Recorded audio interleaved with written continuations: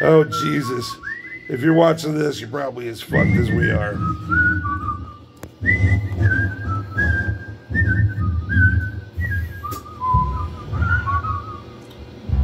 One, two, three, four, one, two.